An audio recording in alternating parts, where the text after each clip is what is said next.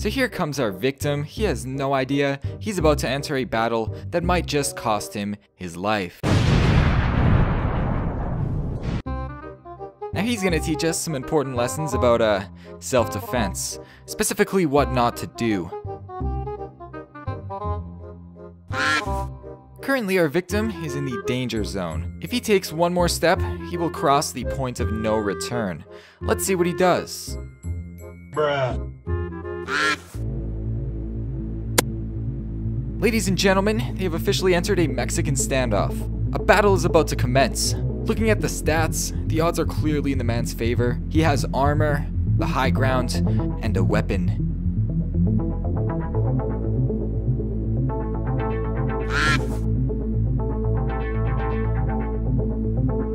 Sorry, I forgot to mention his accuracy level is 1. Uh, it's actually having a significant impact on his gameplay. Friends, this is why it's important to balance your stats when signing up.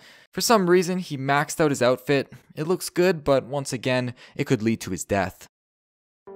He's gonna charge, and oh, I think the man just connected. Is he hacking? Alright, this guy's definitely toggled. Guys, I'm not saying he's hacking for sure, but it looks mad sus. He's gonna grab the loot box. That! He knows the admins are watching. There's no way he can go back into battle without hacks. He is going to retreat and call backup. Alright, now he thinks there is nothing the attacker can do since he is outnumbered 2 to 1. 2 plus 2 is 4, minus 1 is 3, quick math. But um, looking at the girl's stats, they aren't exactly that high, and the duck knows it.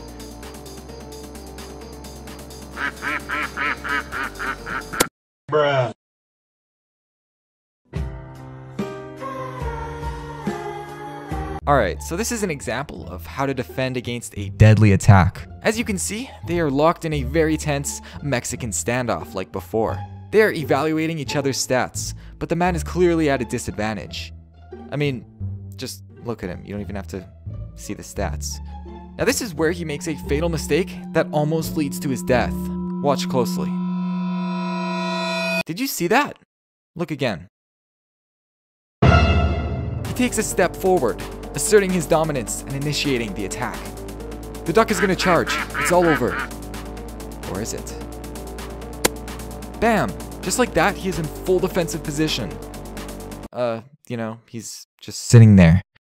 And now he's gonna get up and walk away from this completely unharmed. A beautiful demonstration of self-defense. He brushes off his hands because he knows he has won. And he's even gonna cross the street to rub it in his face. Absolutely poggers. And finally, here's a clip of this cute duck.